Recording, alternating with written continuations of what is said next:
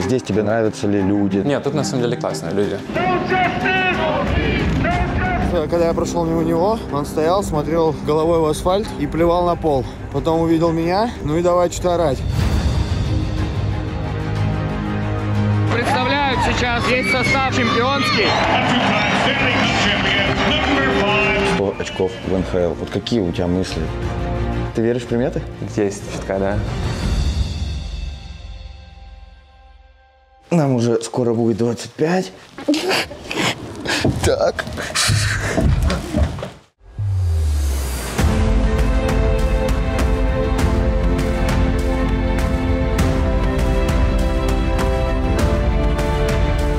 Хотел сказать одну мысль, что, например, когда мы смотрим фильмы американские, соответственно, неволей у нас складывается какое-то представление про Америку. Я вот сколько городов здесь побывал, проехал, в Канаде в том числе, я все время как-то не понимал. Есть какие-то части из того, что я видел, из того, что я представлял об Америке. Но, знаете, не было полной картины. И когда я приехал в Нью-Йорк, вот вчера, я там провел целый день, прогулял. Я не знаю, насколько там хорошо жить, но когда ты впервые приезжаешь как турист, очень круто видеть все то, что ты видел в фильмах. Эти какие-то здания, какие-то локации, какие-то мероприятия, каких-то людей. Даже вчера сам одного ак- актера из голливудского кино встретил, но я просто не знаю имени фами- с фамилией, просто он шел по улице.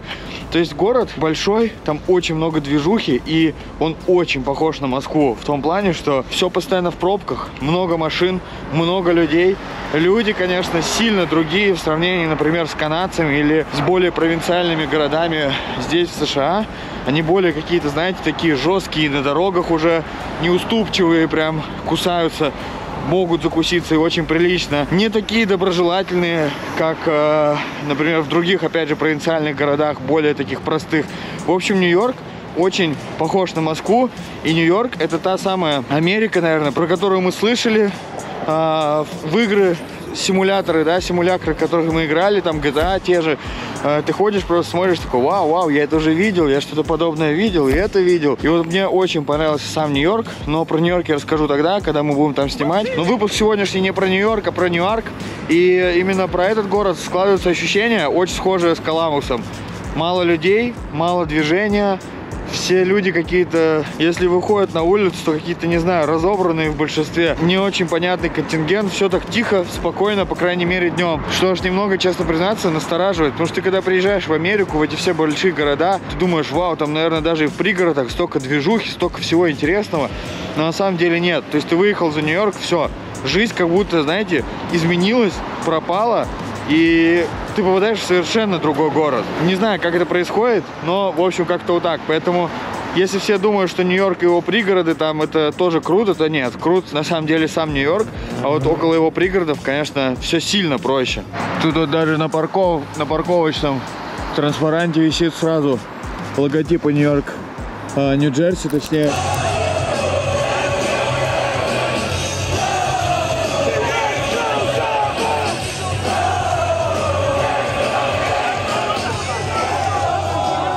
Многие, кстати, думают, что Нью-Йорк Айлендерс, Нью-Джерси и Нью-Йорк Рейнджерс это все команды, которые играют в Нью-Йорке.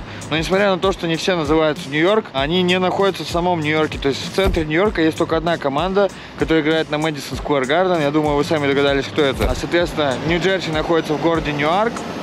И Айлендерс играют сильно дальше от самого Нью-Йорка. Их арена прям очень далеко. По меркам, опять же, нашим, конкретно в Москве, там, например, проехать полтора-два часа в одну сторону, это не считается далеко, и люди стоят в таких пробках ежедневно.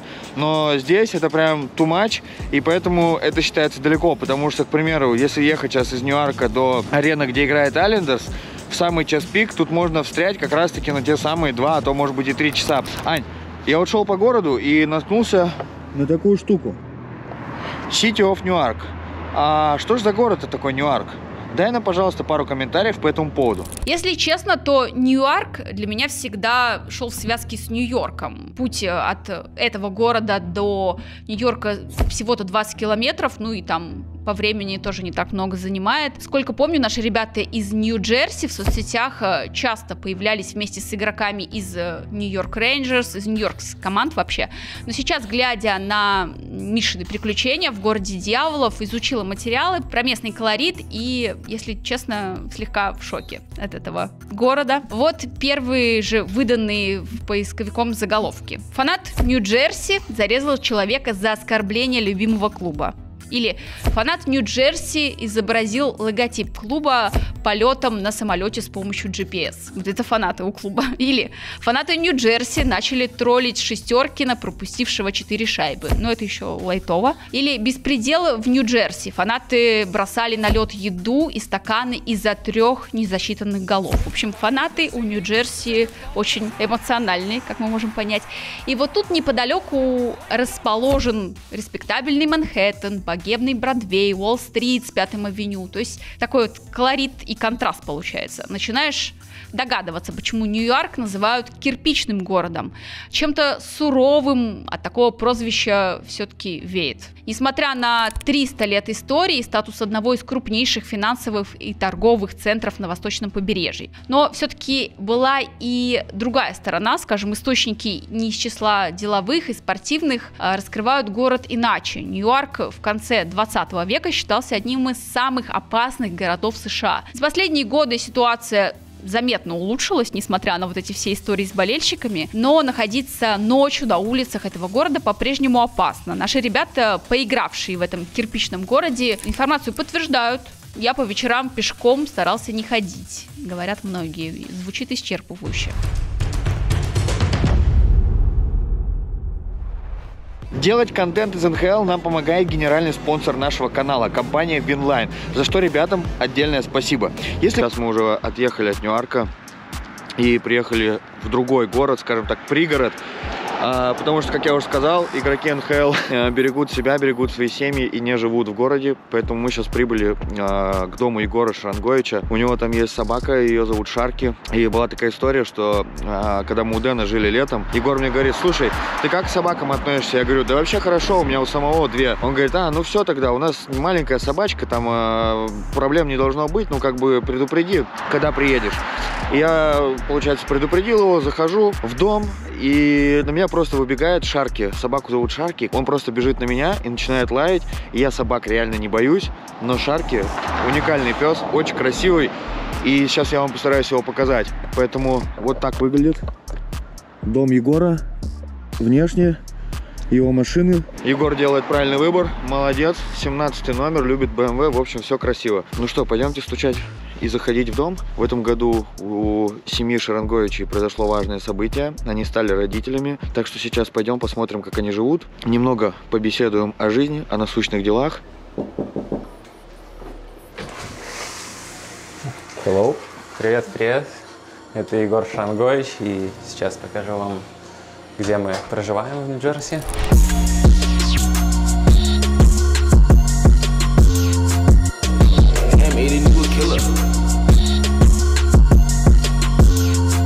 Это прихожая, и сразу мы поднимаемся наверх, где у нас зал, зона отдыха небольшая. Ну, это получается у нас тут типа небольшая зона отдыха. Ну, елку еще, можно сказать, почти разобрали, но оставили для красоты. Тут нашего... Новый год надо отмечать просто Тогда всегда, два раза в год. Нашего приятеля Лежанка, который уже раздрал игрушечки его. А где, где Шарки сам? этот легендарный пес, почему он не лает, как э, во Флориде было? Ну да, почему-то тебя не полюбил. Да не, он сейчас с супругой мы его закрыли, чтобы он не гавкал. Это, кстати, когда я с выезда приехал, супруга мне сделала сюрприз, когда я 100 очков набрал. Конечно, было очень неожиданно и большое спасибо. И... Ну, был сюрприз приличный. Я думал, это Нью-Джерси тебе шарики подарили, нет? Не, супруга. Дальше мы проходим, получается, кухня, зал, все вместе, обеденный стол. Ну, про кухню, тебе рассказать так, про ну, кухню? раз э, мы пришли, я знаю, что твоя жена Даша, вообще ваша история знакомства, что ты пришел к ней в зал, и там мы познакомились. А, она, она посмотрела, как ты тренируешься, впечатлилась с тобой, завязалось какое-то общение, и, соответственно, Даша хорошо разбирается в питании, поэтому к тебе вопрос. Что ест Егор Шарангович перед играми, как ты восстанавливаешься, что готовит жена, может какие-то есть лайфхаки, потому что, насколько я знаю, она спец в нутрициологии у тебя. История вообще, как мы познакомились, интересная, потому что это благодаря ковиду, можно сказать, потому что когда у нас сезон остановился, я решил поехать, ну, уже в Беларусь нас ну, отпустили, и когда я приехал, я такой, блин, надо тренироваться, и нашел Дарью в Инстаграме, чтобы и, и через друга попросил, чтобы, она, чтобы он ей написал и спросил, можно ли прийти на тренировку. Она согласилась, и вот можно сказать, благодаря ковиду мы познакомились, и вот у нас уже семья большая.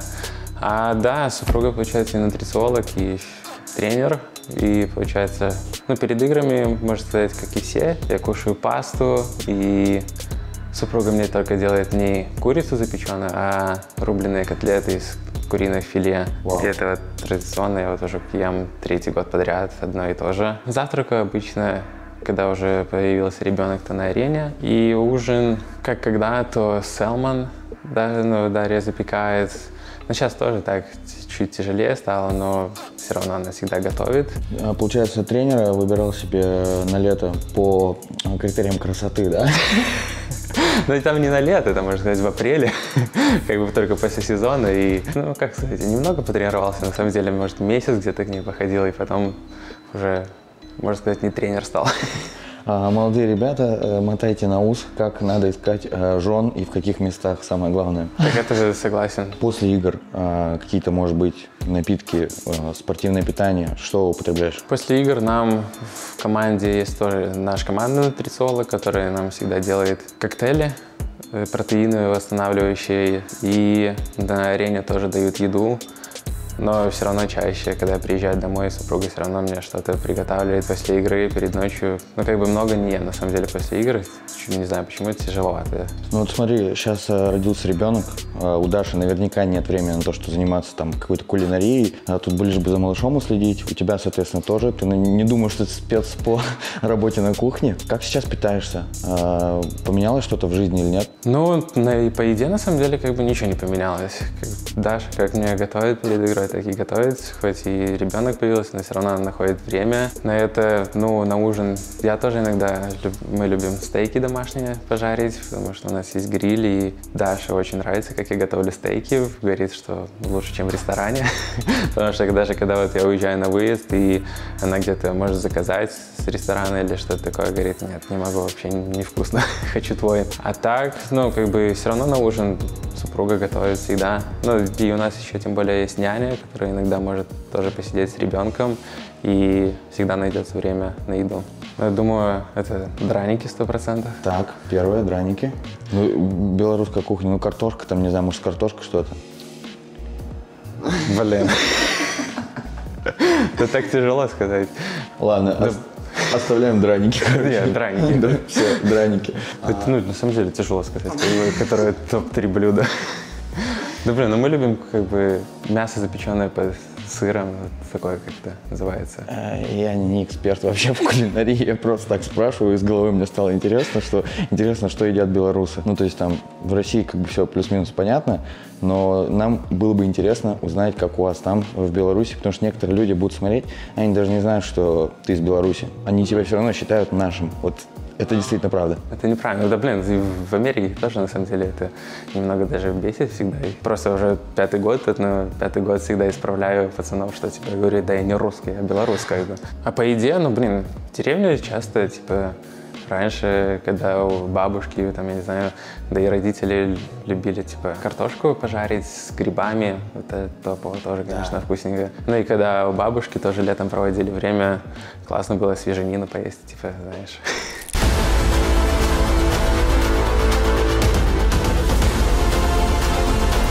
Насколько правильно Егор донес до меня информацию, вот это вообще центральная улица Ньюарка. Она выглядит вот так. Здание компании, одноименно с которой называется Арена, стоит здесь, рядом с ней. В общем, все как всегда. Тут отель Мариот. Видимо, здесь живут игроки, скорее всего, может быть. Мне кажется, игроки живут в более безопасном месте. Может быть, в Нью-Йорке их возят. Но, в общем, центральная улица выглядит вот так. Зеленые надписи, много машин. Вот такой общественный транспорт разные магазинчики, кафешки, обменники, сувенирные магазины, парикмахерские. все здесь. В принципе, не сказать, что на центральной улице прям грязно. Я иду сейчас, не особо много мусора. Его вообще практически нет. Все чисто. Ну, правда, вот кто-то просто решил. Так, куплю пиццу, значит. Съем часть, а часть просто оставлю на дороге. Ну, что есть, то есть. Так, в остальном вроде не сказать, что прям грязюка. А в целом неплохо. Жить можно. Полицейская машина. Долбит музычка.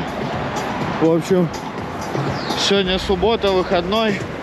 Люди тусуются. Полиция, тем не менее, патрулирует все равно. Вот их машина, рядом они стоят. Смотрят, чтобы везде был порядок. Ну, как бы, конечно, есть и очень грязные места. Например, вот такие. Не хочу знать, что это. Реально это кошка там или нет. Но как бы есть какие таких переулков их на самом деле очень много. Как и очень много здесь живет темнокожих людей, которые, знаете, такие ходят с какими-то пакетами. Много людей в оборванной одежде. Видно, что не то чтобы не самый там большой у них достаток, но сами за собой как будто люди просто не ухаживают. Очень много люмпанов, маргиналов, бомжей. Позади меня стоит мужик, он курит косяк, и здесь очень много тех, кто, опять же, курит траву, и тот, кто ведет этот бизнес прямо на улицах. То есть ты идешь, в основном темнокожие ребята, они продают какую-то траву, э, какие-то аксессуары для этого всего дела, то есть всякую ерунду даже паленые шмотки иногда. И вот просто вот вы посмотрите, я не знаю, что это происходит. Вот сейчас пока вам рассказывал, посмотрите. Идет митинг за Black History, э, темнокожую всю эту историю.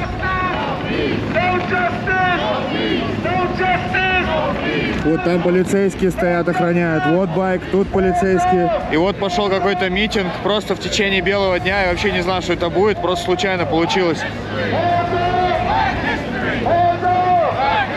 Причем в этом митинге принимают участие даже бел, белые ребята. Очень сильно запахло опять травой, и все даже местные, которые здесь проходят, они поднимают руки, типа, да, да, давай. То есть ты прям чувствуешь себя в каком-то, не хочется сказать, что какой-то паноптикум, да, но не очень приятное ощущение.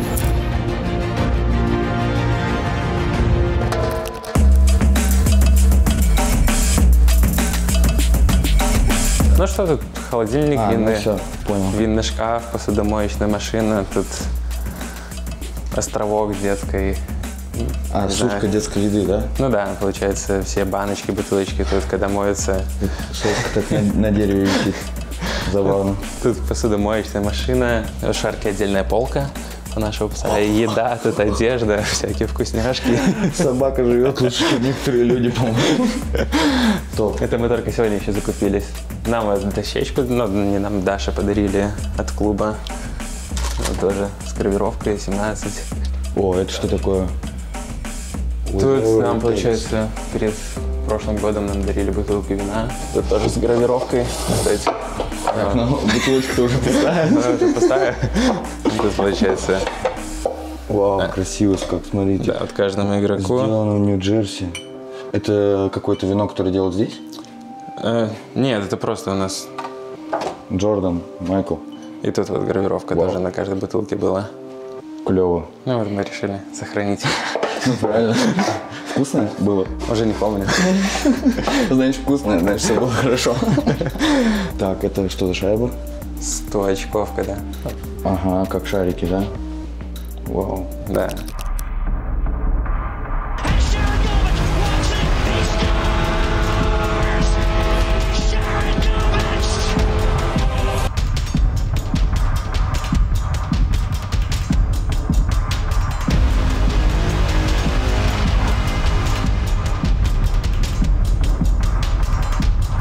Слушай, ну что для тебя значит вообще вот 100 очков в НХЛ? Вот какие у тебя мысли? Ну ты осознаешь, наверное, уже, что как бы не первый год здесь играешь, не первый год варишься. Это какое-то достижение или ты такой, ну как бы 100, жду 200 там, знаешь? Ну, блин, честно говоря, хотелось бы, конечно, быстрее дос- достичь 100 очков, потому что в этот сезон чуть-чуть не, так, как я хотел, складывается, но все равно это большая цифра, 100 очков в НХЛ, тем более в лучшей лиге мира. И, но все равно я считаю, это хоть небольшое, но достижение. Это на самом деле очень большое достижение. Открываем. Сейчас тебя поморожу. Ну да, сегодня что-то прохладненько. А как вообще здесь с погодой? А, в Коламбусе был, люди говорят, там, от, ну, точнее, не люди говорят, а там, знаешь, от 2 до 18 может произойти там в течение 6 часов скачок температуры. Тогда у нас то же самое, типа, особенно этой зимой у нас вообще снега не было, даже, наверное, ни разу снег не выпал, как бы так, чтобы были сугробы какие-то. И сейчас даже взять, не знаю, дней пять назад было тепло, а сегодня вот уже ночью было минус 6, там, как бы всегда меняется. Тебе нравится здесь климат? Мне, да, на самом деле. Ну, не знаю, он похож тем более с Беларуси, но хотя в ну, этим, этой зимой климат, конечно, что-то разный. потому что Перепады, в да? Беларуси там снега даже до сих пор сугробы лежат, а у нас просто ни разу даже не было снегопада. Вообще тебе нравится жить вот в, ну ты не в Нью-Йорке, ты живешь в пригороде здесь, но в целом а, здесь тебе нравится жить, нравится ли еда, нравятся ли люди, нравится ли атмосфера, нравится ли общее поведение, там, не знаю, поведение людей на дорогах. Если так все в совокупности собрать, твоя такая рецензия по поводу вот э, конкретно Нью-Йорка и близлежащих пригородов городов. Ну, на самом деле, да, ну, Нью-Джерси классное расположение, типа, если вот особенно наши пригороды, то это считается реально топовые как бы районы, и ну, тут классно жить. И про людей вот даже могу сказать, вот наш сосед идет, ну просто он топовый сосед, который просто нам очень сильно помогает, когда вот даже мы уезжали во Флориду на лето. Эй, thank you!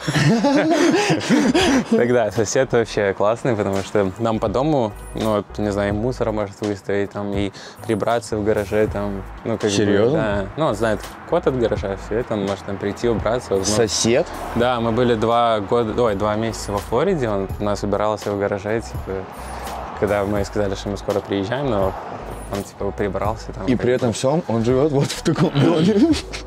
Это как происходит? Ну, ему типа в прикол просто, потому что игрок НХЛ, он тебя уважает? Да или- нет, он как бы, во-первых, когда мы приехали, он даже не знал, кто мы. Он просто сразу как бы начал просто вообще Типа, вот мои контакты телефонов, типа, звоните нам, ну, мне по любым вопросам, типа, вообще не стесняйтесь, там, ну, как бы в гости зовет, ну, конечно. Сейчас чуть тяжелее пойти в гости, потому что ребенок появился и подарки дарит нам на каждый, как бы, праздник, там, ну, вообще. Когда Кристиан родился, тоже нам подарил золотой браслет с гравировкой Кристиан, там, ну, как бы, Вообще целый пакет тоже на всяких принадлежностей для ребенка, блин, холодно просто. А, да? Все, давай быстро здесь и потом просто... Ну, короче, да, сосед, ну, вообще у нас классно. А почему так? Почему такое отношение, как ты сам думаешь?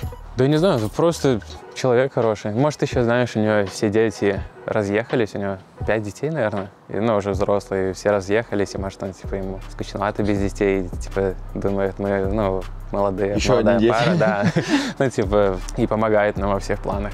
Так, тут у вас а, дворик, ты тут гуляешь с Шарки, наверное, с ребенком, да, иногда? выходишь? Но сейчас зимой, конечно, мы просто шарки выпускаем на улицу, и он сам бегает. Очень прохладно. Песочница есть даже. Ну тут вообще дом такой прям для детей создан. Ну да, потому что тут, ну, хозяин, который, у него два ребенка, они тут прожили, наверное, год или два, сделали для себя ремонт, и сейчас они переехали во Флориду и решили сдавать в аренду. Все понял. Классный двор, такие деревья, небольшой какой-то пригорок. Но летом тут лучше, Очень потому что, красиво, да, наверное. когда все расцвет, ну, расцветет, тут, конечно, намного красивее. Да, классная лужайка, сарай, все как надо, в общем. И, соответственно, главная достопримечательность а, Шарангоевич Кук. Все, пошли, Пойдем, давай. пойдем. Винчик-то здесь распевали. Не, это ряд, ну, мы кстати, еще ни разу не сидели. Тебе нравится это место, тебе нравятся здесь люди, вся культура. В принципе, ставим лайк, по твоему мнению, да? Да, да. Нет, тут на самом деле классные люди, потому что, ну, все приветливые, все это, ну, в этих районах. И мы жили тут 5 минут от нашего дома в прошлом году. Тоже у нас хозяин там вообще классный был, которого до сих пор мы с ним еще общаемся. Даже если когда нам почта приезжает какая-то на старый адрес, он нам ее подвозит всегда. Это, ну, как бы, иногда билеты даем на игры, ну и нашему соседу тоже. Но хозяин прошлого вообще, типа, нам и газон всегда стриг, там, и если что-то сломается, он сразу рабочего пришлет, там, ну, короче, Молодцы. ну, да, типа, тут люди на самом деле, и там тоже соседи были всегда приветливые, там тоже подарки дарили нам, и шарки подарки дарили, как бы, вообще, конечно, топово. Так, тут обитель Тут Шарки. Шаркина, да, место. Все, понял. Идем дальше. Ну, тут, получается, обеденный стол. Ну, тоже, на самом деле, тут почти не кушаем, потому что покушаем на барной стойке. Сейчас времени как бы быстренько перекусить 5 минут, уже ребенок соскучился. Вот, если ты слышал. Это да, это стиральная машина, сушилка. Все понял. Это то, к чему ты не прикасаешься наверняка, поэтому идем дальше. Почему? К пылесосу прикасаюсь иногда. Да ладно тебе, рассказывай тут сейчас. Сейчас мы Дашу встретим, спросим мне. Так, ну вот, вот она, самая, э, наверное, одна из самых важных частей в доме, исторически важных частей. Рассказывай. Ну, это получается нам клуб делает, когда ты первую шайбу забрасываешь в НХЛ, клуб предлагает сделать картину, с, получается, с протоколом, пару фотографий.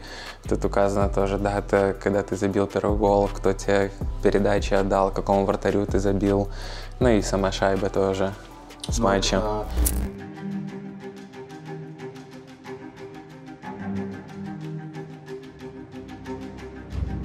Я подумал о том, что будет, наверное, неправильным говорить, говорить и ничего толком не показать на предмет города, насколько он там плохой, какие здесь проблемы.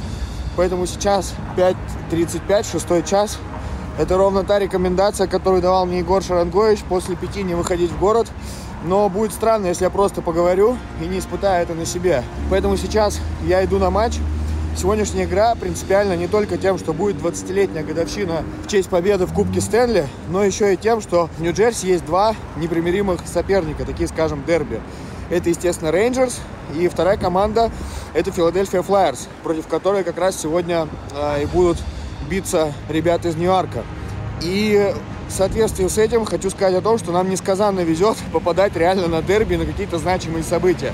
Я думаю, что должен быть аншлаг сегодня. Цены на билеты свидетельствуют об этом, потому что я глянул все-таки цены на другие матчи регулярные, и они были сильно ниже, там были даже 35-40 долларов, 60 за билет, в зависимости от команды. То есть сегодня действительно все билеты раскуплены, sold out, остались только дорогие билеты, но в общем и целом, в принципе, Нью-Джерси по-прежнему остается самым демократичным и доступным для похода на игры клуба. Клубом, потому что ценники взвинчивают только на такие события, как сегодня. Годовщина, дерби, можно и прибавить. Так, билеты дешевые. Поэтому первое, что я хотел сказать по билетам, Второе, про то, что я хочу сейчас протестировать все-таки атмосферу города на себе, как оно есть на самом деле, будет ли что-то интересное, опасное. Как говорится, шило в жопе имеется, и приключения, мы к вам идем. Надеюсь, ничего серьезного не случится, но что-то интересное все-таки э, мы здесь найдем. Короче, я иду. Вот этот мужик орет мне. Я прошел мимо него раз, он что-то орал. Второй раз опять орал. Но он просто Сейчас я уже могу перевернуть, чтобы было удобнее говорить. Просто, когда я прошел мимо него, он стоял, смотрел головой в асфальт и плевал на пол. Потом увидел меня, потому что других людей здесь не было. Ну и давай что-то орать. Не знаю, пока на самом деле не так все страшно, как говорят. Либо мне просто мне пока фартит. Но я уже прошел больше половины маршрута. Уже практически подхожу к арене. Ну, все плюс-минус хорошо. В общем и целом, город реально бедный. Если вы так посмотрите, вот эти все люди, которые стоят, из них очень много людей без определенного места жительства. А, Они выходят на улицу, потому что на остановках есть электричество, которым они могут подзарядить телефоны, у них есть телефоны, очень много валяется одежды, не знаю, либо где-то они ее находят просто и понимают, что она им не подходит, и выбрасывают, но пока я иду, я уже почти подошел к арене, я еще не встретил ни одного фаната. В какой-либо джерси, в майке, в майке э, в Филадельфии или в майке Нью-Джерси. Фанатов нет от слова совсем, и цены на билеты могут быть обусловлены еще последними успехами команды, потому что в этом году команда играет хорошо, но последние годы она выступала, откровенно говоря, слабо. И может быть поэтому, чтобы хоть как-то стадион заполнялся, такие цены на билеты. Пока, к сожалению, фанатов нет вообще никаких, но очень много реально людей странных. Видите, мужик сзади меня сидит, что-то еще делает. Они то сидят, то стоят. Многие вообще на улице. Видно, что состояние у многих просто невменяемое. Вся одежда порвана, кто-то ссытся прям под себя. Это все воняет. Не только на улицах, но и прям в них. Может, поэтому и нужна им другая одежда. Короче, ужас. Реально паноптикум полнейший просто. Но зато желтые вот такси, как в Нью-Йорке. Но на самом деле город неплохой. Он когда подсвечивается, даже все не так выглядит удручающе, как днем. А еще здесь очень много людей. Вот как этот мужик, видите, сзади меня, он стоит в маске, и многие из них закрывают свои лица. Сейчас еще вот покажу вам людей, которые слева от меня находятся. Они в большинстве своем закрывают лица и выглядят как-то вот так. То есть они стоят у этих всяких супермаркетов, ищут какую-то, не знаю, там еду, может быть, халявку, халтурку. Но здесь уже спокойно, потому что здесь все патрулирует полиция. А, Они прекрасно в курсе всей ситуации в городе. И очень много людей, которые зачем-то себе закрывают лица. Либо масками, либо специальными горловинами. Во-первых, да, конечно, безусловно, здесь холодно. Но здесь не такой холод, чтобы прям закрывать свои лица. И не думаю, что они это делают из цели того, чтобы согреться. Поэтому криминальных моментов здесь очень много. Вот стоит патруль обязательный. Мужчины в зеленых, а, в таких кислотных нарядах все патрулируют, но по-прежнему я уже почти у арены и до сих пор я не вижу ни одного фаната. Просто ноль. Странно, очень странно. Либо они все прям приезжают туда к парковке, либо я не знаю, как это происходит. Вот так регулируется движение. Мужик со свистком кричит и направляет всех, кого куда. А вот так в барах фанаты уже готовятся к игре. Разминаются, в принципе, аналогичная история. Вот так заводят болельщиков.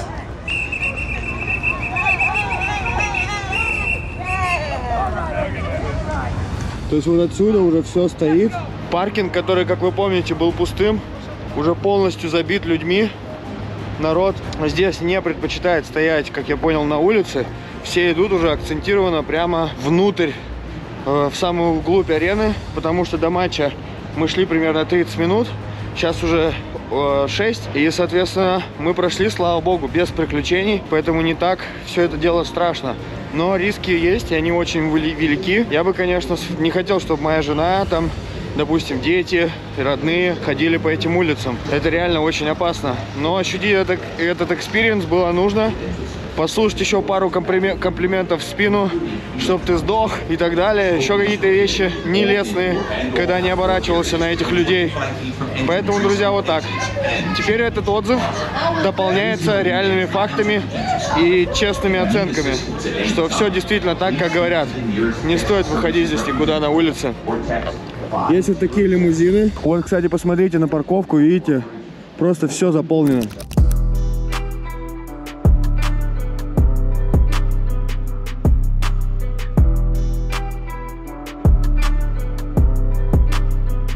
Здесь, получается, фотография. Тут, да, тут у нас, получается, командные фотографии, которые, можно сказать, в середине сезона делают, и потом нам на следующий год их дают. И, ну, мы тут просто решили повесить это, что мы видели. Это вот, кстати, мне брат подарил, вроде бы перед отъездом в Америку, чтобы я всегда не забывал о родных. Вот тут конечек тоже 17. Ну, это Травы Зейджик. Тут, кстати, мини-клюшка, когда ему вручали, когда он отыграл тысячу игр в НХЛ. Это тоже, кстати, не сломать бы. Вот, получается, гравировка есть тоже маленькая, если ты увидишь там. Да, да. Очень много у тебя таких трофеев, аксессуаров интересных, всяких памятных. А это, соответственно, Это мне тоже брат, получается, подарил, чтобы я, как всегда, не забывал родных. тут мяч. Тут это... тебя? мяч- не, это для малыша. Там Даша занимается с ним, всякие упражнения. Ух ты. Все это, да. Спортсмен растет. Так, да. Любому. Так, но одно из главных достояний этого дома это вот этот вот попугай. Как его зовут? Его зовут Хэм. Хэм? Да, ветчина. Потому что если его шарки съест, типа, ветчина для шарки. Нормально, ты любишь попугайчик. Ну, вот у нас он появился сколько, две недели назад. Ну, еще до сих пор иногда побаивается, но если его прикормить, там, дать бананы или что-нибудь такое, он тогда можно его и на палец взять и подержать. Он маленький, да, еще? Ну да, ему, я не знаю, наверное, месяц, даже, ну, наверное, меньше по возрасту. Вот, шарки нельзя. Ну вот, твой друг. Ли- Вот это легенда просто. Это легенда. Легенда. Это малыш. Нельзя.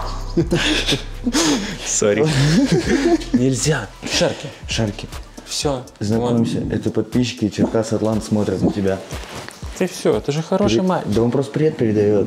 Он говорит, пацаны, смотрите выпуски. Нельзя голос. Блин, ну на самом деле добрый, не знаю. Ты мне тогда первый раз так же говорил, когда я приходил. Да он добрый, он нас вообще не лает, не кусается. Ну, Блин, до сих пор к соседу вот нашему не может привыкнуть, и вот к тебе. К соседу, который вот этот хороший мужик, Да, да. Он, видишь, он просто на хороших людей, видимо, так реагирует. Все, Шарка, нельзя. Ты сегодня звезда, понимаешь? Тебя сейчас будут смотреть люди. Нельзя. Поэтому лаять нельзя и, и рычать тоже.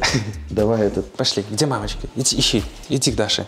Так, ну тут у попугая просто люкс. Тут вообще колокольчики, вода, тут эти... Ну, нам сказали в магазине, типа, что для попугая это самые главные игрушки, что были. Потому что если будет мало игрушек, типа, ему будет скучно. А вы его прям выпускаете, он тут Ну, летает? типа, ну, он еще как бы так не сильно умеет летать. Ну, еще маленький, а так, ну, типа, у нас клетка всегда открыта.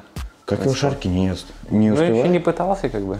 А, даже просто Ну, нюхает? так, да, лежит? ли- лежит. Вроде бы не хочет пока съесть. Ну, это- Даже было, ну, даже иногда он сам с клетки вылетает, но когда мы уже куда-то уехали, когда шарики с Хэмом остаются дома одни, типа Хэм иногда как-то открывает клетку, вылазит, ну, остается жив, как бы, так что Ну, как нормально. экзотический такой, да, какой-то попугай? Он красивый такой, красный хвост. Грин чик называется. там. Зеленощекий, краснохвостый. Да. Так, щеки реально зеленые, хвост реально красный. Вас не обманули. Но, да, да, Ты вообще а, первый белорус после пятилетней паузы, который заиграл в НХЛ.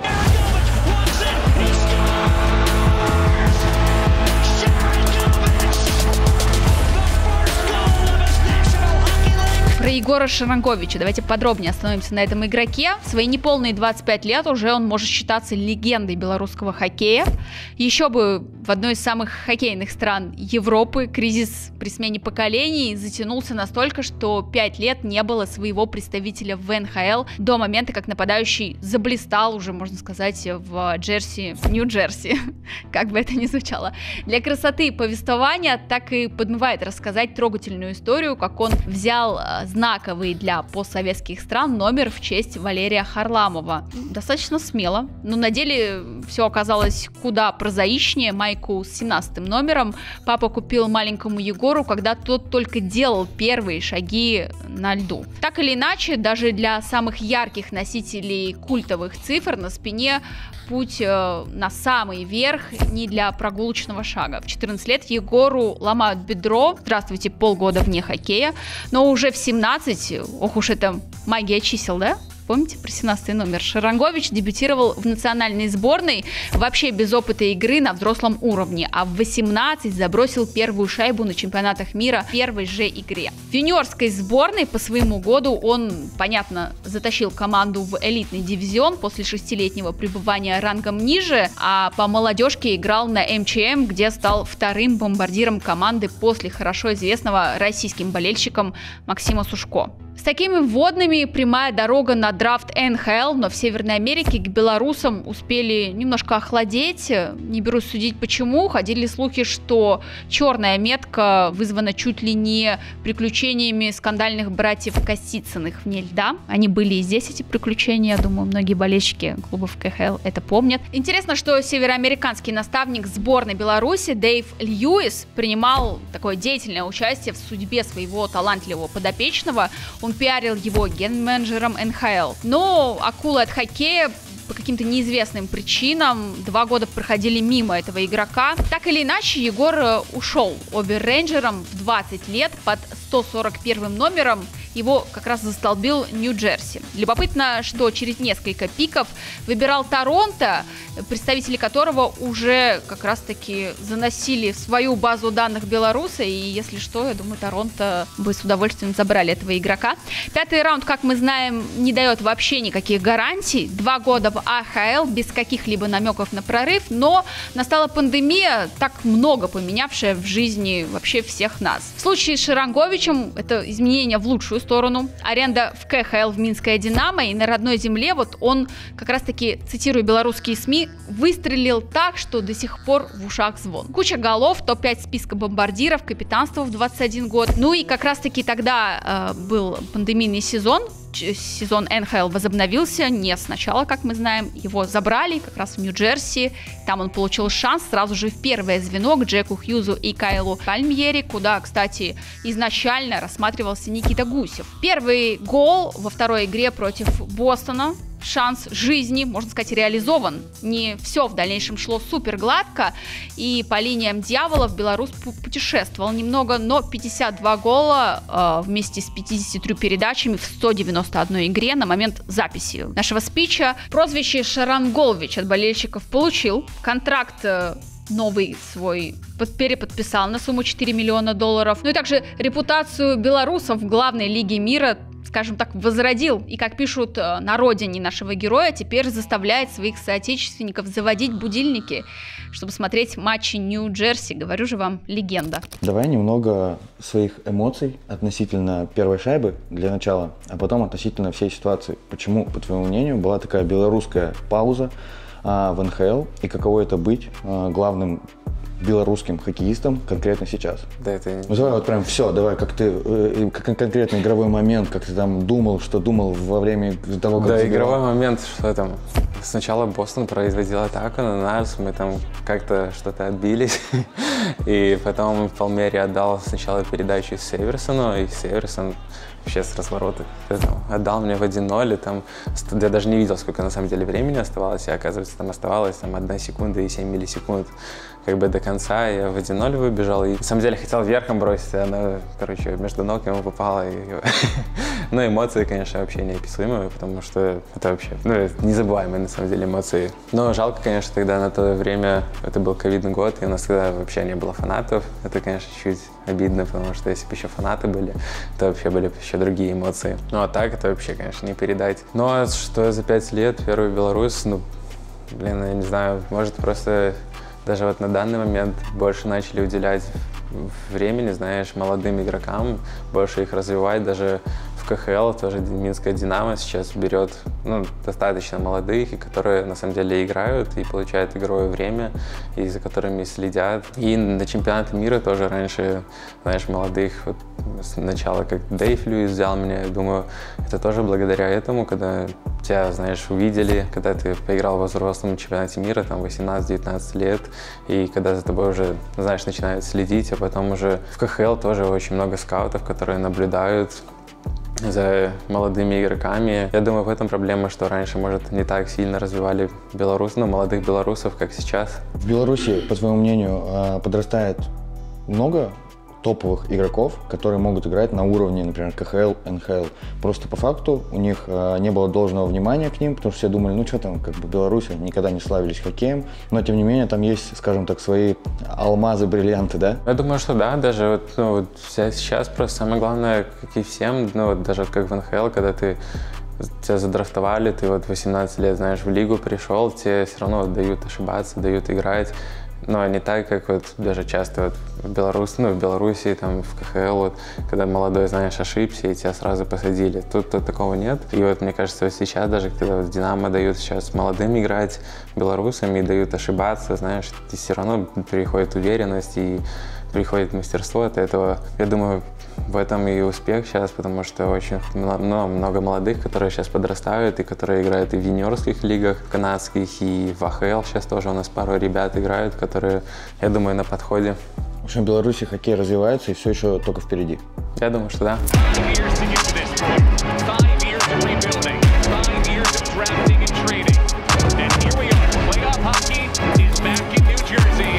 На матче Нью-Джерси приезжают вот на таких лимузинах. Это прям самые козырные ребята. Судя по всему, наверное, вот этот центральный вход. Поэтому отсюда в основном идет больший поток фанатов. И людей действительно много стоит на одном входе. Посмотрите, какая очередь. К вопросу любителей очередей в Америке есть вот этот вход. И все идут почему-то в него, хотя там с другой стороны есть второй.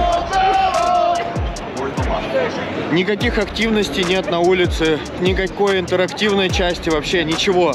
Просто есть вот эта аллея, которую я вам сегодня показывал днем, вход, все, соответственно, заходят, ну и как бы на этом все оканчивается. Поэтому около хоккейной атмосферы, скажем так, никакой. Посидели в баре, приехали из квартиры, поставились на парковку, быстро вышли, зашли в арену. Потому что А опасно, Б холодно, и В, видимо, здесь просто это особо никому не нужно, потому что, мне кажется, Нью-Джерси далеко не из тех клубов, которые сильно развивают медийку. Но, как говорится, дело не в медийке, дело все в игре на поле, поэтому что могу сказать? Сейчас мы должны сделать лишь только одно. В прямом смысле, без каких-либо литературных приемов, я могу вам сказать о том, что мы направляемся в самое логово дьявола. Друзья, добро пожаловать на матч Нью-Джерси Девилс. Let's go. Так, ну вот вышел мужик вот этот. В костюмчике. который подсказывает болельщикам Нью-Джерси, что у них на арене есть второй вход, потому что сами они по какой-то э, удивительной случайности этого не знают, и поэтому what the fuck вообще. Еще у Нью-Джерси есть такие, короче, лакер-румы. Вдруг, если что-то у вас есть, надо оставить. Вы можете сосканировать вот это, ввести какой-то тут код, в общем, и оставить вещи здесь. Это на самом деле достаточно удобно. Не знаю, конечно, насколько бы я сделал это конкретно здесь, и насколько они надежные, но это очень удобно в том плане, что часто бывает, что ты берешь с собой, что-то не разрешают проносить, и вот так можно оставить, А, но если, конечно, это не что-то ценное. Но так прикольно. В общем, есть вход для стафа, есть вход для нас, приглашенный, типа как ситуативный от ивента став, есть VIP вход, и там заходят игроки. Так что пойдемте вовнутрь.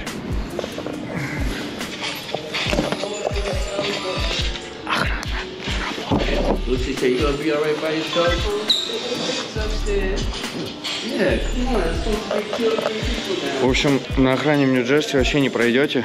Тут серьезное подразделение сидит. Подразделение называется «Воздушные шарики», которые могут лопать шарики 24 часа в сутки. Классная работа, конечно. Еще и с такой средней зарплатой у нас бы сейчас все охранники бы кайфовали. Кстати, вот еще перед игрой решил заглянуть второй раз на тренировочный каток и сказать о том, что считается luxury, когда у команды два катка на одной локации, чтобы форму не перевозить постоянно.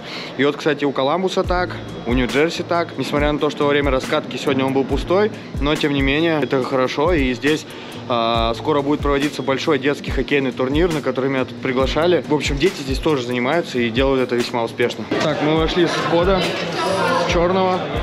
Черный, конечно, так по-разному теперь воспринимается, на самом деле, это слово. В общем, а, мы зашли со входа сейчас. Тут эскалатор, который поднимает нас наверх. Не совсем какой-то основной, потому что народа там не было.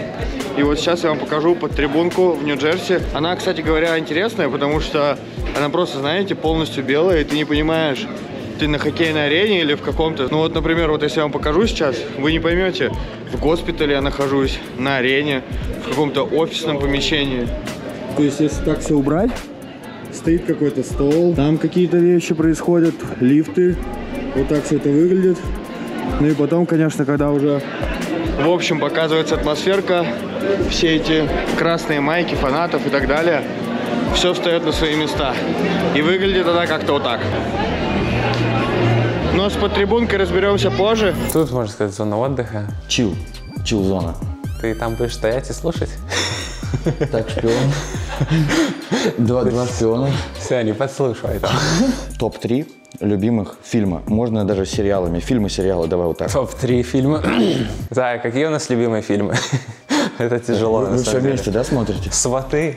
Вот сваты просто у нас всегда идут. Серьезно? Да. Вау. Мы уже, наверное, пересмотрели, пересмотрели их, наверное, раз 10. Необычно. Давай, один. Ну, люблю Марвел фильмы, на самом деле, все. Так. Вот смотрю, просто, наверное, все пересмотрел. Проходки в доту? Это палево, это не что такое? Что такое проходки? Ну, просто смотрю, как давно пацаны играют на игры. Ну, эти стримы, да? Вот Ну, это. типа того. Все, стримы, сваты и этот... э, Ну, и Marvel. Марвел, все. Ну, Марвел, на самом деле, это, да, для меня это топ, наверное. А твой любимый Марвел э, фильм? И герой? Герой, наверное, Тор. И фильм, ну, наверное, Мстители, финал. Все, отлично, разобрались. А где PlayStation? Или Xbox? PlayStation нет, я не Нет? играю. Да, мне просто не нравится. Я раньше у меня был, типа, года три назад, когда я в АХЛ был, но там я во что играл? Я только играл в АХЛ и в фифу. А так, потом в стрелялки, в гоночки. Неудобно на джойстике, не знаю, не могу. Но до сих пор я вот старая школа, типа, компьютер. Так, э, смотри, это зона релакса, поэтому сразу прилетает вопрос. А как ты любишь восстанавливаться? Кто-то делает штаны, кто-то использует тараган, пистолет, э, кто-то холодные ванны. У всех свои фишки. Какие фишки у тебя? Но холодную ванну это больше на арене, Типа там и Делаешь, да? Да, ну, холодная ванна, либо теплая. Ну, там сначала теплая, потом холодная. Ну, дома, ну, Даша пистолет подарил, но иногда, иногда балуемся. Но так дома просто отдыхаем, и все, как бы, такого домашнего чистого восстановления сильного, ну, как бы нет. О, какой мотоцикл, это ты собрал? Да. Ну, получается. Это... Не, мотоцикл это мы просто же, да, купили его? Это мы мотоцикл, когда мы летели, кстати, с Белоруссии, и в Турции купили в аэропорту. Ну, ты его собирал или он уже собран был? Не, сам все собирал. Это, не знаю, ну, уходит, наверное, неделю, чтобы собрать. У всех есть лего, у Чинаха лего. Пять часов? Ну, блин, да, мотоци- мотоцикл, да, быстрее собрал. Это машина долго. Ну, машина, машина сверху, да? Машина еще машина есть Слушай, сверху. ну очень круто, тут вся информация про него написана, значит. Вот такой мотоцикл. Ну вот Не, лего. ну Лего на самом деле нравится собирать. Но сейчас тоже как бы мало времени, потому что я хочу то еще купить эльфовую башню, но там появилась новая, но Даша говорит, нет. Ты прям следишь, да, за лего, за этим Да обновлением? нет, ну просто в Инстаграме иногда попадается. Я вижу там, ой, эльфовая башня или Титаник, но там это слишком много деталей, там, не знаю, это займет недели две, наверное, точно собирать. Ну, это вчера, которые на игре давали. Но это не мне, это Даша дали. Да. Твой, еще будет впереди просто. Да, это по приметам нельзя. А, ты веришь в приметы? Э, Есть. Серьезно? Чутка, да. Прям серьезно загоняешься или... Ну, как когда.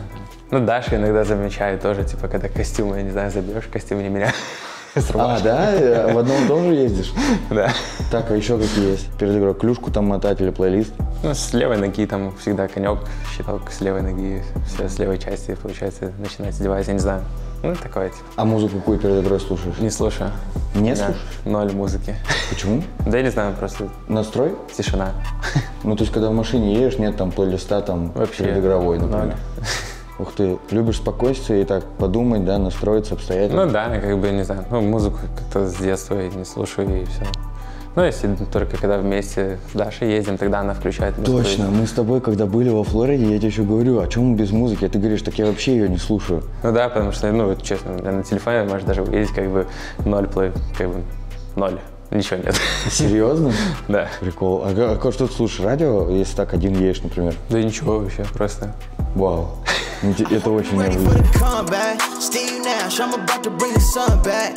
Forecast looking bright for the comeback. Can't ignore it, promise you can never sun that. I pray for it, get ready for the Тут сидят вот возрастные ребята, инвалиды, те, кто, опять же, как-то купили эти места. Отдельный подиум у них на все это дело. 35 минут до начала игры. Соответственно, я так понимаю, что-то 19 минут до начала раскатки, что ли, идет сейчас отчет. Около стороны, где будет сейчас Нью-Джерси разминаться, сколько людей. И там вот все забито. Везде плакаты, плакаты, плакаты. Арена благодаря, конечно, всей раскраске изменилась и выглядит намного лучше. Так, мы сейчас пришли, чтобы посмотреть, как выходят игроки. У них вот такой тут есть знак. Прямо наверху. Вот он. Отражается еще вот сюда. И сейчас отсюда не будут выходить. Туда внутрь, туда поближе просто не пройти. Там все в людях. Но мы постараемся хотя бы посмотреть со стороны.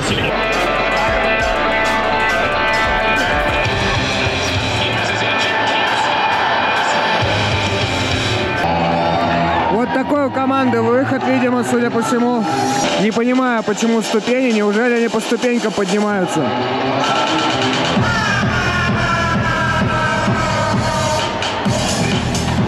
А с той стороны парень один катается, видимо, новенький. Сейчас уже вся команда вышли. Такой пранк есть в НХЛ, когда новичок выходит, его одного выпускают, типа без команды, просто угореть над ним. В общем, все, команды вышли на раскатку. Фанаты потихоньку рассредотачиваются около стекол, чтобы занять все свободные места. Именно фанатская поддержка такая приличная здесь реально.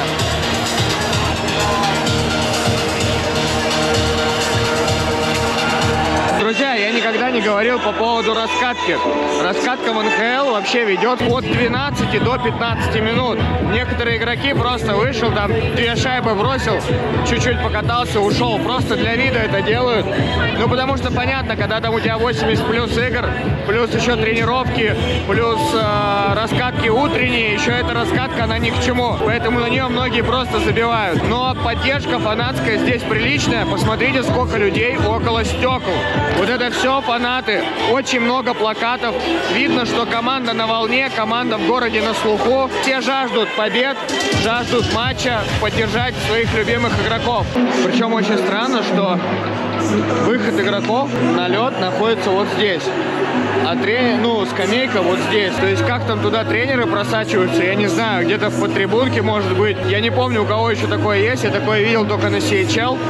В принципе, по раскатке чего-то необычного нет.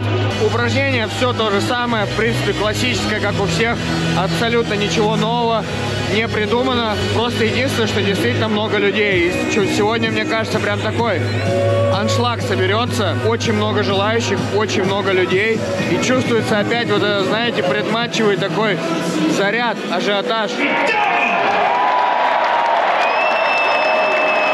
Все, шоу начинается.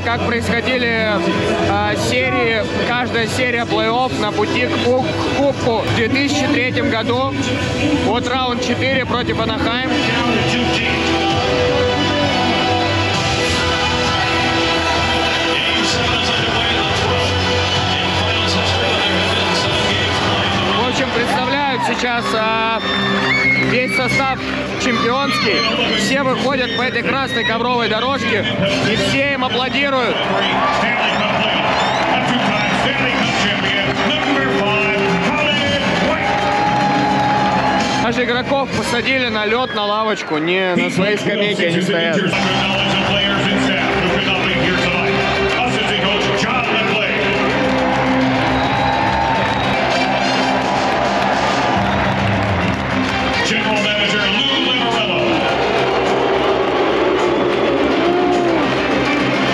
Морелло вообще жестко освистали весь стадион. Видимо, не очень хорошо, походу, к нему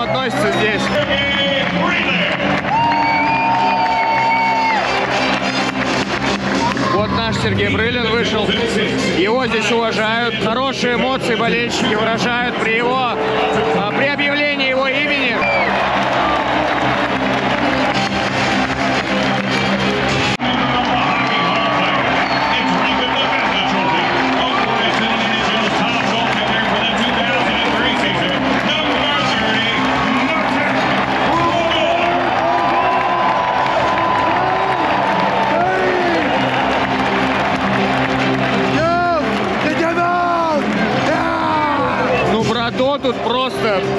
в почете, ребят. То, как его приветствуют, не приветствует никого. Даже Нидермайера так не приветствуют.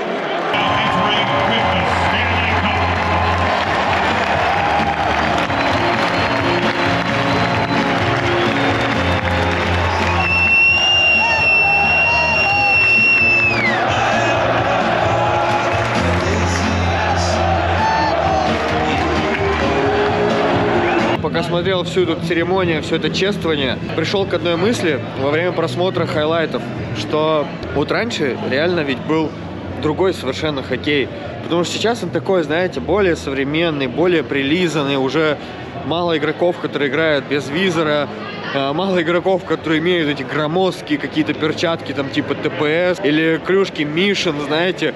Вот это такой олдскульный хоккей, когда настоящие просто... Я не говорю, что сейчас там не играют в хоккей мужики, но просто раньше, вот знаете, настоящие такие олдскульные мужики выходили без визоров и просто рубились не на жизнь, а на смерть. Сейчас, конечно, хоккей стал сильно другим, и когда они вот наверняка так собираются, знаете, там Брадо, Нидер, Нидермайер, там остальные хоккеисты, они собираются и наверняка вспоминают, о, помнишь, как раньше было, как мы, как мужики настоящие играли, не то, что сейчас вот это. И круто, что они встречаются вот так, вспоминают, и их народ, самое главное, знаете, помнит, народ знает эту историю, народ поддерживает, и это объединяет так всех вместе. Казалось бы, да, просто, ну что там, ну расстелили эти ковровые дорожки, ну вышли они, ну там показали кубок, показали трофеи, ну назвали, затянули время, затянули начало игры. Но это мелочь, она настолько является важной в общей коммуникации, в общей картине, что она связала вот болельщиков, историю, клуб, легенд, да, еще раз напомнить о том, кто вы, откуда, как там выигрывали кубки. В общем, круто окунуться, так сказать, в эти воспоминания и потом вернуться и оказаться в реальности. Поэтому такие вот фишки, такие небольшие акции, они на самом деле играют очень важные роли в общей коммуникации между игроками, клубом и болельщиками. Поэтому круто. Так, тут получается детский коврик. Или как он называется? Детский мат? Детский коврик. Да все, закрой дверь, пожалуйста. А то ты послушаешь, я стесняюсь. Тут игрушки ребенка, картинки, за которыми он следит. Это получается с детства, знаешь, ему еще тяжело цвета все разбирается, и тут больше такие черно-белые, красные. Это его игрушка, на которой он лежит, знаешь, руки цветают, под локти. Его креслице, которое нам, кстати, в команде подарили. А Нью-Джерси, да? Да, да. Ну, которое типа укачивает, но он тут не спит вообще. А, Вот, типа, сама автоматическая, да. Ну, Тут музыка есть всякая, это... Ну, тут он вообще просто не любит спать, вообще не засыпает ни капли, только на руках. Слушай, ну каково это быть отцом? Тем более молодым отцом. Да, Как блин, ну как менялась жизнь? Да не, не сильно. Для меня. Ладно, шучу. Да не, на самом деле, все равно это топ. Вот. Это реально классное ощущение, потому что даже еще, знаешь, самое главное, что во время родов тоже был с Дашей, когда ты все это увидел, типа ощутил. Прямо И- там, когда были сами роды, ты прям Да, да. стоял с врачами вместе? Да, полностью с Дашей, с Дашей вместе проходил Сам это. принял это решение быть там? Ну, мы, да, это мы сразу, как бы, когда только забеременел, сразу сказали, что будем рядом. Не страшно было смотреть Ну так, блин, конечно, эмоционально, знаешь, хочется как-то помочь, да, нечем помочь, типа хочется что-то сказать, а даже наоборот залиться, типа я врачей слушаю, типа. Знаешь, когда после родов skin to skin, типа ребенка, ну, тебя прикладывают, и уже был, я не знаю, как сказать. Вот это, вот музыку у нас сегодня. Да, и получается сразу ребенка мне отдали, это, конечно, вообще... Счастье? Да, вообще просто... Да плакали мы от счастья, что ты говоришь. Лучше, чем э, первый гол в НХЛ. Да, я думаю, конечно, это сто процентов, потому что это лучший вообще момент в жизни. Как считаешь, если Стэнли выиграешь, Стэнли будет лучше, чем этот момент? Ну, это тяжелый вопрос, но все равно как бы ребенок на первом месте, но семья все равно на первом месте. Как жизнь поменялась? Подготовка к матчу, вообще общие какие-то, может быть, порядки в доме, потому что ребенок это все равно меняет жизнь твою, семьи, Даши, всех вместе. Вот, можно сказать, перед игрой, когда я приезжаю после раскатки, ну да, ребенка, получается, наберу, наверное, на минут 30 только, чтобы Даша мне приготовила покушать перед игрой, и потом уже супруга полностью занимается, а я уже иду спать вниз, в бейсмент, на нулевой этаж, и также уже после родов, можно сказать, живу там уже два месяца, потому что это, конечно, большой плюс, и это благодаря супруге, которая реально понимает, что нужно восстанавливаться, нужно хорошо спать перед играми, перед тренировками. И это большое спасибо, на самом деле, потому что не каждая супруга так даст мужу высыпаться, ну, знаешь, Сто чтобы процентов. восстанавливаться. И это, конечно, большой плюс. Так что вот два месяца живу снизу. Даше выражаем респект. Да, это сто процентов. Ну а так, ну, конечно, в выходные дни сразу, ну, на прогулку вместе ездим гулять. И на самом деле сразу больше все равно времени проводишь с ребенком. Ну, компьютерные игры сразу, конечно, отпали. Потому что, ну, иногда только, конечно, разрешают мне сыграть там в одну игру, может, две максимум, а так, ну, как бы, да и сам понимаешь, что надо все равно помогать, потому что Даша-то не высыпается, как бы. Ну, сейчас тоже чуть получше начала, ну, начал Кристиан спать, но а так, конечно, больше тяжело это ночью, что, ну, знаешь, когда не высыпаешься, тогда уже все равно настроение все равно чуть хуже становится на день. Как имя выбирали? Имя выбирали очень долго, на самом деле, это был тяжелый. Споры были? Драки, споры. споры? Ну, драк не было, но споры были, потому что имя, мы выбрали имя перед тем, как мы поехали в роддом только, потому что мы придумали очень долго, сначала думали том, нравилось Дэн, ну и потом такие Кристиан. Ну да, классно звучит, ну типа Кристиан Шарангович, ну все, давай Кристиан. Это вот просто мы, мы сидели на диване перед отъездом в роддом уже. Но мы выбирали, типа, знаешь, чтобы было и в Америке как бы легче чуть-чуть, потому что, знаешь, вот в Америке Егор, ты говоришь, тебе там запишут... Игорь. Я не знаю, Игорь, я не знаю, там вообще разные имена. Ну, потому что даже в Старбаксе, когда ты говоришь Егор, они там что, что? Ну, как бы, а так мы выбрали, знаешь, Кристиан, чтобы и в Беларуси было, и в Америке. Дальше, ну, тут телевизор, тут не смотрим его, не знаю, уже месяц вообще не смотрим его больше на ноутбуке, и то тоже на ноутбуке, когда ребенок появился, уже фильмы нет уже такого просмотров. Вот и отпал вопрос, как поменялась жизнь с рождением ребенка. Ну да. Ну тут уже все. Не знаю, тут больше что рассказать. Все, погнали дальше. Тут туалет у нас. Ну, это можно сказать, гостевой больше. Тут можно? Ты тут будешь с нами или? Всем привет. Привет, привет. Тут в- все в сборе, не, не хватает только попугая одного. Пойдем тогда изучим коврик наш. Хорошо. Коврик. Это, это, это ее охрана, получается?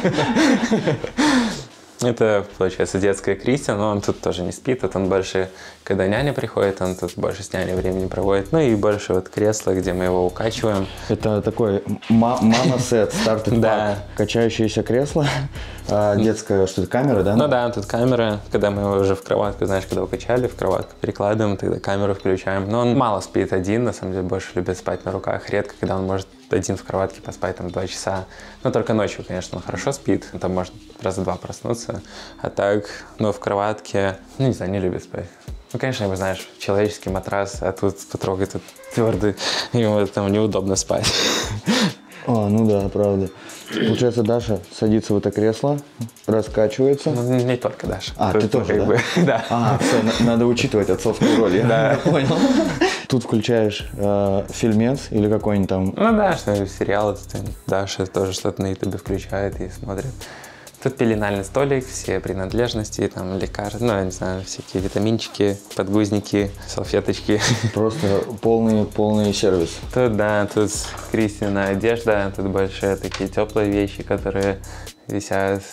Тут тоже там подгузники, тут все его игрушки. Ух ты, там майка. Тут есть, да, майку, которую нам в команде подарили. Она чуть еще Вау. большеватая ему. Прям оригинально, все так вышито. Круто. Дэдди, 17. Это клуб подарил? Да, ну наш генеральный, получается, он пришел, подарил мне. Тут это брат, что мне подарил, получается, там статуэточка, которая деревянная, тут она в нем лежала. Это ракетка, я не знаю, ты, может, знаешь, не знаешь, Максим Мирон, такой у нас был теннисист белорусский, но достаточно знаменитый. Школа теннисная. И вот, он нам, получается, подарил ракетку и сказал, может быть, все-таки выберите теннис. Ну вот, думаем. Ты, ты увлекаешься теннисом? Но на самом деле я не увлекаюсь, типа, сам как играет. Ну, летом иногда играл, а так интересно вот посмотреть. Мы вот этим летом на US Open ходили на С пару матчей. там, да? Я знаю, что вы в Нью-Йорке с кольцом ходили. Не, не, это я ходил с Дашей, но мы просили, получается, билеты у Соболенки. Она нам оставляла билеты. И мы, вот, получается, ходили на, наверное, на три или на две игры сходили. Ну, так, интересно посмотреть живую, но сам, как бы, да, блин, тяжело играть, надо научиться, не умею. Ну, а так тут вот Кристина всякие носочки. Комната Кристиана. Да, но с одеждой, как бы, он вырастает, пипец, очень быстро. Так, этот портрет это просто Это портрет, мы вот когда были во Флориде, мы ездили в этот Universal парк, и Даша такая говорит, о, пойдем, пускай нас нарисует, типа, ну, типа, не знаю. Похож? Как считаете? Ну, Вот давайте сравним вот лицо. Не знаю, как бы такое, мне кажется. Так, ху- художник что-то это ободрал, по-моему, да? Немного. Чутка, мне кажется, не очень получился. Ну, Даша, наверное, вообще в шоке была, когда это увидела. Это ваша спальня. Да, это наша спальня. Ну, Криса кроватка, но он тут тоже, опять же, он тут не спит. Он больше спит с супругой на кинг-сай- на кинг-сайзе. Ему больше нравится большая кровать. Глупо было. Ну, вот они вот Ух ты, тут даже в окна Да, в да, тут они не открываются. Это твоя, получается, самая большая модель, да? Ну да, она, наверное, побольше. Но вот эта модель, да, я чуть подольше собирал. Но все равно я такой, знаешь, ну это у нас еще ребенка не было. Все равно я могу просто 5 часов подряд сидеть и собирать ее. Потому что хочу быстрее собрать и быстрее увидеть, как она выглядит в собранном виде. Ну вот, кстати, ты про пистолет спрашивал. Пироганчик у тебя есть, да? Да, Ножки разминать. да. Ну и, смотрю, Валик еще он стоит в углу. ну, это, кстати, больше супруга катает. Э, Даша раскатывается просто? Да, да. Ну, потому что, знаешь, целый день с ребенком, типа спина А, как бы мучает в этом плане. я понял. Ну, тут тоже еще один пеленальный столик. Просто тут измеритель температуры какой-то автоматический. Ну, да, потому ну, даже когда просто, когда купаться ид- идем, тогда просто температуру воды меряешь, ну, чтобы тоже, Не обжечь? да, ну, знаешь, чтобы в рака не превратить Ну, его. вы просто мега это... Тут, кстати, вот холодильничек есть, чтобы, знаешь, молоко... Серьезно? Да. Ну, там сейчас, наверное, пусто. Это как? Это он прям, ну-ка, открой, посмотреть. Ну, интересно. потому что, знаешь, ночью, блин, идти...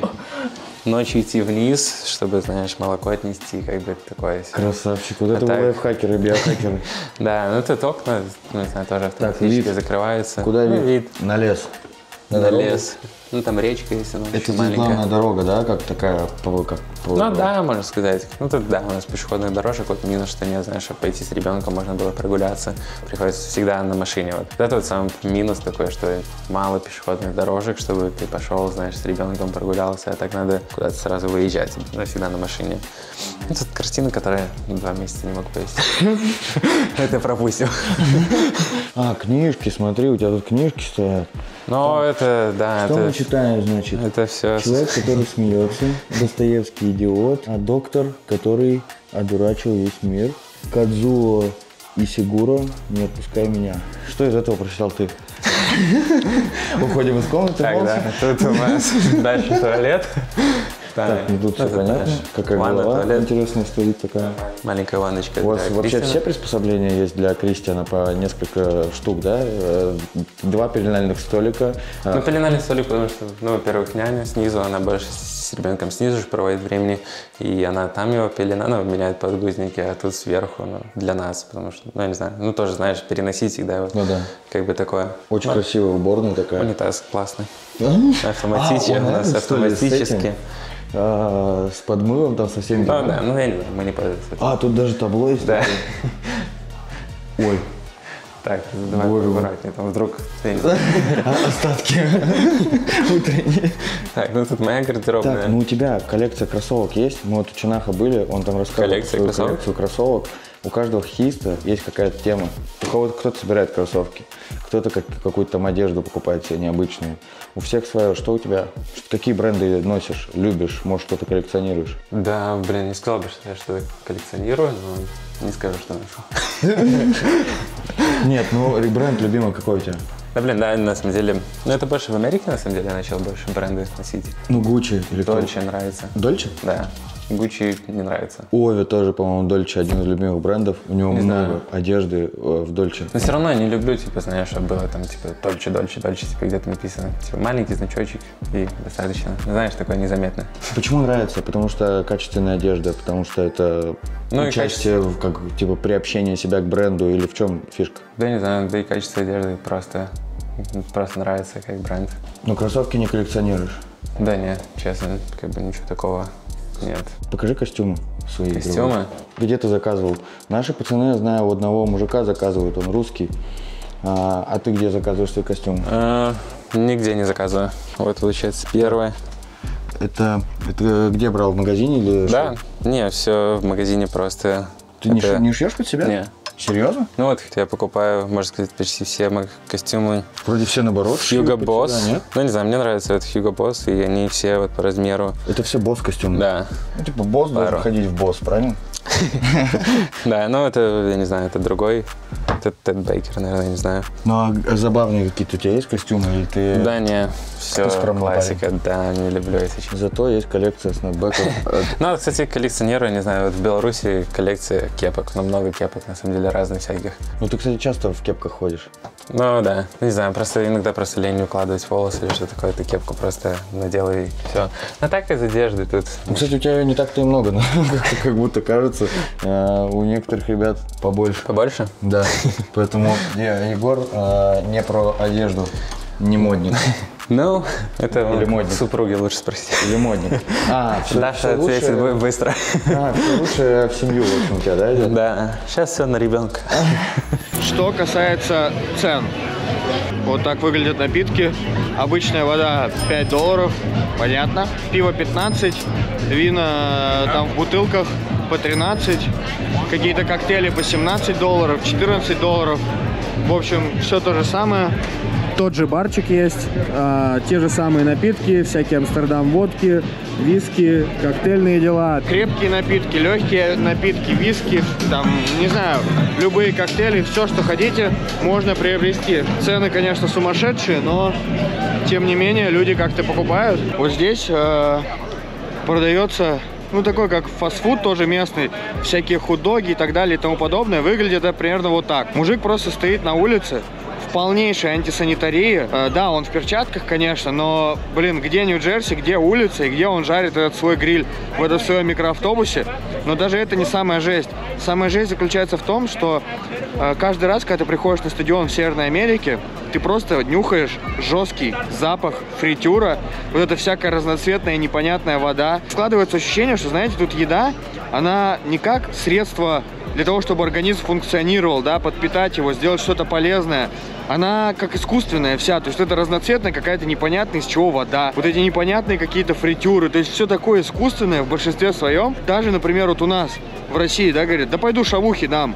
Ну, то есть шавуха по сравнению с вот этим всем, это просто, это, м, это мясо, это лаваш, это какие-то овощи, да, там есть кетчуп, есть майонез, но даже кетчуп и майонез будут не хуже того, что ты просто нюхаешь, когда проходишь мимо вот этих лавок в Северной Америке. Ты даже по запаху понимаешь, что в рот это никогда не положишь. Но люди, они просто едят это, покупают, и мне это вообще не укладывается в голове. Неужели это вкусно? Ну что со вкусовыми рецепторами? Это просто какая-то фейк-еда, это все не настоящее, и я реально до сих пор именно к еде вообще не могу здесь привыкнуть. К вот этим хот-догам, постоянной картошке, к постоянному фритюру, к панировке, к вечной. Прям вот, кстати говоря, если поедете в Америку, то тоже один из пунктов, к которым надо быть готовым. Тут есть какие-то VIP-тикет вы можете выиграть. Получается, выбираешь На сколько игр, свой пол, какой тип э, ты хотел бы выбрать, возраст. Судя по всему, какая-то очередная лотерея. Но этой лотерее уделено огромное внимание, потому что очень много мониторов с ней расставлено. Люди в это прям участвуют активно, я так смотрю со стороны. В остальном, честно признаться, мне нравится такая светлая, необычная арена. В холле все достаточно цивильно, красиво, чистый пол. А, Есть все службы, разный гест-сервис, то есть все удобства для болельщиков, для людей. Есть даже вот такое, как, скажем так, небольшой футбол какой-то, я так понимаю. Причем самое главное, что он обособлен. Вот за таким стеклом. Он от Hyundai. И я так полагаю, что сюда не все могут попасть. То есть тут есть определенный отбор, чтобы попасть в этот Hyundai Club. Ну и, соответственно, все достаточно светло. Еще один Шарангович ходит. Весьма необычно все это выглядит. Посмотрите, какая тут роспись прям. Стены произошла. Хоккеист, футболист, баскетболист, теннисистка, Мартин Брадо. Выглядит весьма неплохо. Вот такие машины есть от Hyundai, раскрашенные. Ну, соответственно, что сказать? Полы чистые, стены покрашены, несмотря на то, что белые, тоже все чистые. Достаточно. Все хорошо, арена цивильная, много разных каких-то лавочек, там где-то для того, чтобы прогреть горло, где-то для того, чтобы э, подзаправить свой бензобак искусственной едой, как мы уже выяснили. Поэтому все классически, много корнеров с напитками, много корнеров с едой, туалетные комнаты, разные лотереи, розыгрыши, какие-то конкурсы. Правда, вот единственное, что я не вижу здесь пока никаких таких развлекательных интерактивов, скажем так. Но в остальном все классически. прям даже не, не к чему придраться и не про что толком рассказать. Тут можешь закупиться любой едой, там тоже. Вот это очень красиво. Тут вывешены игроки, самые выдающиеся. Может быть, когда-то здесь будет и Егор Шарангович. А вот помните, я вам показывал а, днем тот самый вход стеклянный. Он был не такой красивый, как сейчас. А сейчас посмотрите, как круто. Все такое стеклянное. Вот, посмотрите. Это создает прям такое ощущение пространства, огромного пространства, высокого пространства и, соответственно, ажиотаж. Посмотрите, сколько людей внизу, которые хотят попасть на игру. И вот там еще все это толпы фанатов. Они ломятся на сегодняшнее дерби. Видите, даже лого есть на полу вот такой. Тут вымпел. Просто даже лента там для просмотра сумок. Народ как Муравьи прут, прут, прут изо всех щелей. Сейчас мы пойдем, я так полагаю, смотреть главную Да, комнату. пойдем где сейчас посмотрим, где, где я сейчас уже два месяца обитаю. То есть вот это все, друзья, это вот оставляем Попугаю, Шарки, Даше и Кристину. А теперь идем смотреть жизнь Егора. Пойдешь Тут, да, на с вами? горку? Давай, пойдем. Только тут, ну, лестницу не используют, это для ребенка лестница больше. Мы с тобой ровесники, нам уже скоро будет 25. И вот как бы, когда вам будет 25, вот чем вы можете заниматься. Ну, горку. Что, поехали? Поехали. Вот такая горка. Так, моя очередь. Так. О, так ты нормально тут скатился. Вообще, вообще, это очень удобный способ перемещения. А, горка в доме. Я так понимаю, тут жили дети э, с этим хозяином, да? Ну да, у меня два ребенка было, и то они сделали, решили сделать горку для детей, чтобы они, не знаю... Ну, это мега круто. Это очень круто. Я- Ну, блин, да, как бы, когда реально там ребенку, не знаю, 2-3 года, чё, нет, прикольно его покатать. Ну, ладно, ты, же, да, мог посадить, так-то по идти, чтобы подняться сюда, наверх. Ну, тут, что, это уже, тут уже забыто. Так, ну тут э, чё? Как бы, Тут уже забытая местность, как бы, потому что тут Пылиться лежит. дома не играю уже, потому, потому что, ну, как говорил, что с ребенком, потому что сейчас только ну, на выезд беру. Вот этот вот геликоптер, это твое, твоих рук дело? моих. Но история просто... Всегда хотел себе вертолет на пульте управления. Ну, такой нормальный, большой, типа, знаешь, его запускать. Да, сколько раз я его запустил? Сколько? Ноль. Чтобы ты понимал, я вот в Беларуси, когда покупал, мне в магазине говорят, ты хоть раз, ну, имел вообще вертолет? Я говорю, ну да, игрушечный, знаешь, такой маленький там. А говорят, ну, полупрофессиональный имел? Я говорю, не, смотри видеоуроки. Я как, ну, и как и все, никто инструкции не читает. Да я думал, какой-то вот маленький вертолетик, ты его запустишь. Нифига, его даже воздух не поднял ни разу.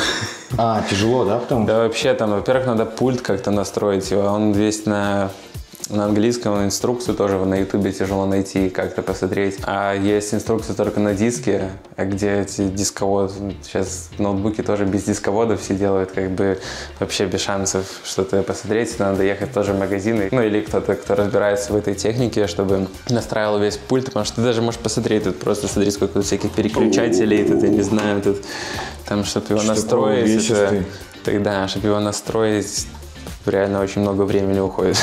Да, слушай. Я пытался разобраться, но так и не разобрался. И вот, короче, только спалил одну батарею один раз. Ему и все, он там один раз задымился и все. Так, ну давай э, топ твоих игр на компьютер, раз ты Топ. компьютерный геймер. Но, честно, вот уже играю очень долго в Доту, Дота 2. КС-ку, ну КС-ку немного, и больше PUBG. Да, CSGO, ну и PUBG. Я знаю, что вы, когда ты жил в АХЛ, очень много играл. Да, в АХЛ на самом деле много играл, но потому что там город как бы не сильно классный, потому что там ну, реально нет ничего.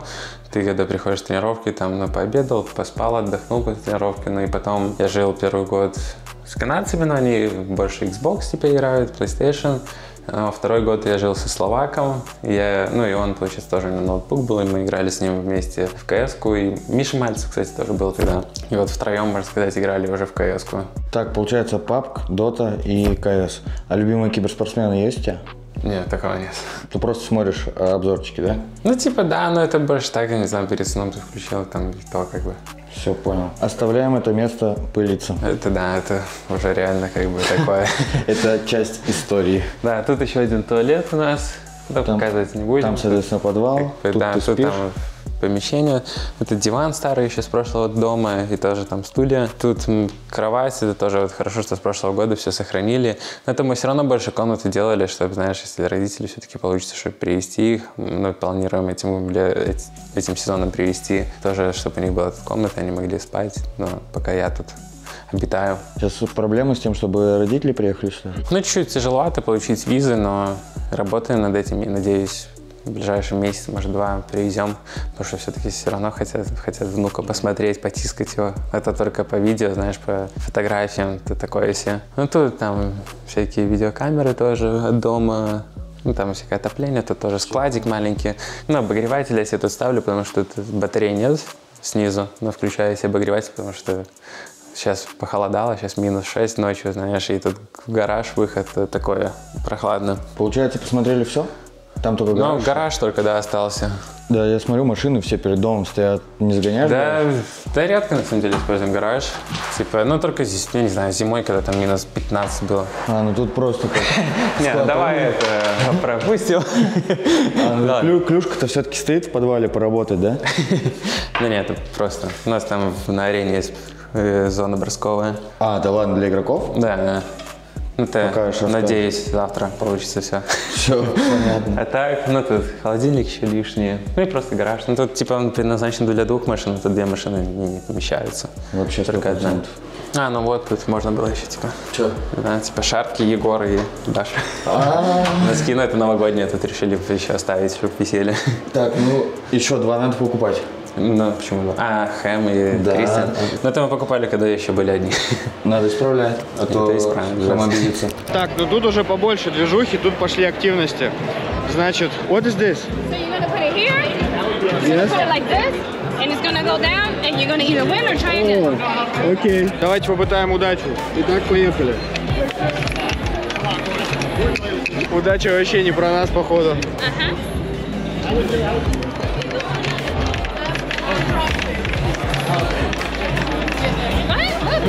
Как говорится, Бог любит троицу.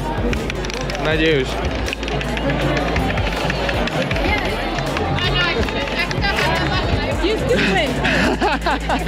Thank.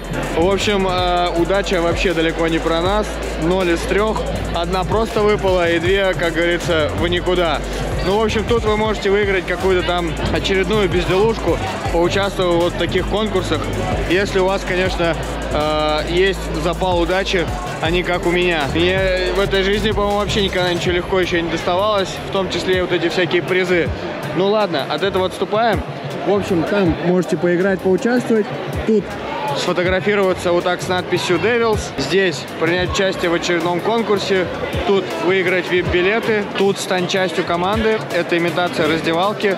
Соответственно, вы можете там сфотографироваться и приобщиться к обществу а, New Jersey Devils. А тут по-прежнему такой большой корнер с едой. Сюда пускают, я не знаю, только либо по билетам, либо как-то VIP персон каких-то. А, вот как сейчас девушка прошла, там должен быть определенный браслет. И, соответственно, там вы можете смотреть, наблюдать за игрой из лаунжа с едой, чтобы все было красиво. Кстати, такую фишку я не припомню, чтобы прямо на главном этаже в арене можно было зайти в бар с едой, со всеми делами. Были такие цивильные столики. То есть не просто там, знаете, семейный лаунж, а прям это для людей фишка. Но надо определить, надо иметь определенную привилегию. Вот видите, как люди сидят, за столами едят, тут там бар, там еда, там еда, а там уже вот арена насквозь. А вот люди, которые приходят опять с собаками на игры, причем не просто с собачками, а прям с собаками. Hey, sir, it's for kids? А, can I see it?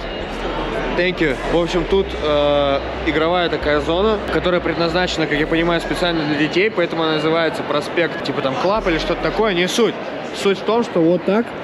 Здесь есть небольшие клюшки укороченные, которыми дети могут поиграть. Вот пластиковая шайба, соответственно, гоняешь, забиваешь голы и радуешься. вот такие клюшки. с укороченными крюками. Ну, соответственно, куда же без телевизоров. Поэтому мешки маленькие для детей, э, телевизор с трансляцией любимой игры, столики для рисования, доска, можно взять мел, можно взять маркер и раскрасить, например, вот Какого-то дьявола, либо логотип клуба.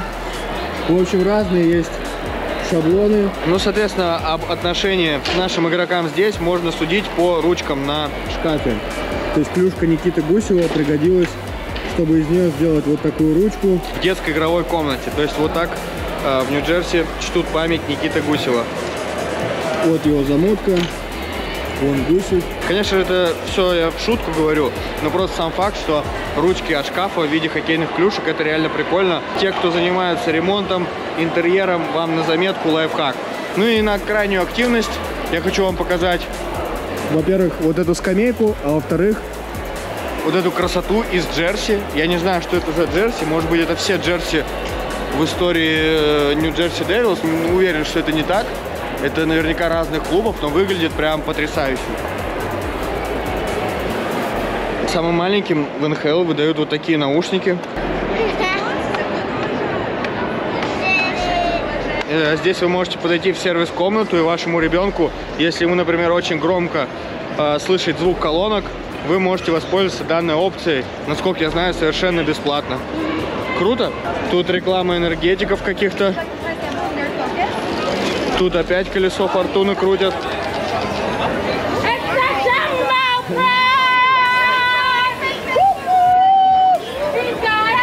Настроение позитивное. Вот так люди выигрывают призы, всякую мелочевку. Тоже, кстати, есть местный маркет. Такой локальный э, с водой и снеками. А Вот, кстати, акции. Давайте посмотрим, какие здесь. Э, Например, о, собаки начинают дружить. Блин, сколько тут собак на матче, я не понимаю, они все какие-то там специальные или это просто люди с ними ходят? Я уже четыре собаки увидел на игре.